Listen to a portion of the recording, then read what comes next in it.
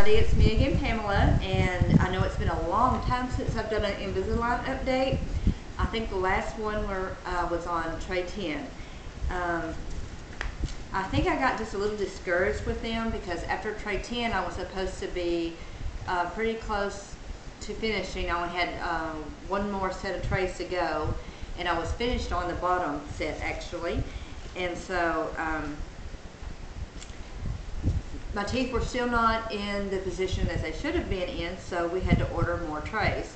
And so that was in November, and here we are into March, and I am just now finishing. Today was my actually my last day, and I got my retainers. So this is my very first time talking with this uh, top retainer in and it is extremely hard. I'm, I do not think I ever had this much trouble with my Invisalign trays.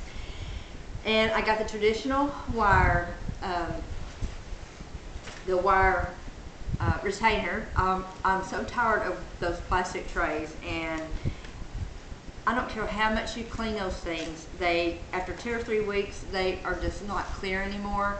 I've done everything from Efferdent tablets to um, brushing with um, cleaners, soaps, and things like that, and they just will not stay clear. And I did not want to get a plastic retainer that I was going to wear six months straight, and uh, we wore seven, and it turned cloudy on me. So I just told her I want the traditional wire since I have to wear the retainer six months, 24 hours a day, except when eating. And then after six months, then I get to go to wearing it just at night. So, uh, I got the retainer care and cautions and instructions on wearing them. And um, it's been a long time since I had to wear a retainer. Most of these things are common sense, of course. But I also got the retainer on the bottom, and it's the bonded retainer, so it's in there permanently. This bottom tooth is the one I've always had trouble with, and to be honest with you, even after having, let's see now, I've had 10, 11, 12, 13, 14, 15 trays now total. And I can take the bottom tray out and within 30 minutes, that tooth has moved again. So now it is, it is now in place where it should be and now I have the bonded retainer on so now it cannot move and so I'm really happy about that. I can't even really tell much about the bottom retainer. I can just uh, feel a little roughness behind my teeth. That's no big deal. This top retainer is going to be, uh, take some getting used to because it's just really hard to talk right now. But um, of course you have the, the normal things, not to boil your retainer, not to flip your retainer with your tongue. And that's the first thing I said to, to her, I, the, my orthodontist. I remember back when I wore a retainer before, uh, if you recall, when I was in my late 30s, I wore braces and then I wore my retainer and I was a terrible retainer wearer. And so that's why my teeth shifted and that's why I'm back in uh, the Invisaligns. But I told the orthodontist I remember being able to, after wearing your retainer for a little while, being able to just flip it out with your tongue.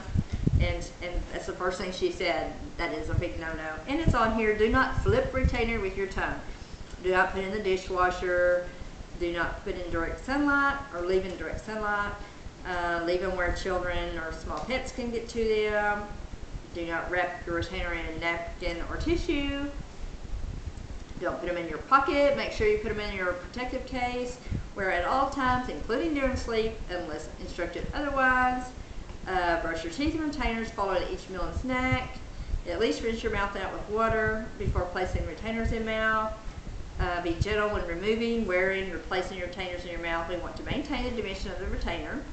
Did keep your retainers in a protective case when not wearing. Always bring your retainers with you to your appointments. So, the only reason why I'm going over all this is because I need to practice talking. I'm here by myself today. It's the first day of spring break. No one to talk to except for my uh, little Molly, and he's not saying too much back. So, anyway, I decided I would go ahead and give this update, and uh, that is pretty much it. Uh, my teeth are straight. They look pretty good. Now I can't wait to make my dental appointment and uh, get my teeth cleaned really good and, and checked out and make sure that, you know, I don't need anything else done. And they did polish my teeth today, so that was good. And she did shave a little bit off of uh, the top ones, uh, you know, to kind of even even them up a little bit because one was just a slightly lower than the other, even with after all the correction. So anyway, uh, would I do it again? Do the Invisaligns again? I don't think so. That's my consensus. I would have gone with the traditional braces after doing it this whole time. Um, it's not that the the trays were bad. It's just uh, I just felt like they were grubby in my mouth. No matter how much you know you clean them and everything, like I said, they get cloudy, and it just felt they just didn't feel good in my mouth. They just felt dirty all the time. So um, I just don't like the thought of leaving a big chunk of plastic in my mouth that really you start out nice and pretty and clear every time you put a new one in, and by the time you, it's time to change another one, it is really just cloudy. I mean, it just doesn't look pretty. So I was always self-conscious of that.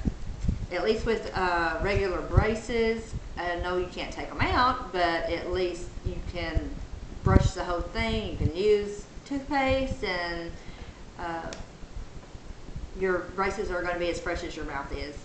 So, uh, other than that, um, I think the the irritation you get in your gums and things like that, no different than regular braces. So might as well, to me, go cheaper, uh, use the regular braces, and I just wouldn't do the Invisalign again, personally. So that is my take on them, and um, this will be the last video I do on Invisalign. So if you want to see me anymore, you'll have to watch all my other uh, home videos and silly videos and all the other kind of things I do. So anyway, toodaloo.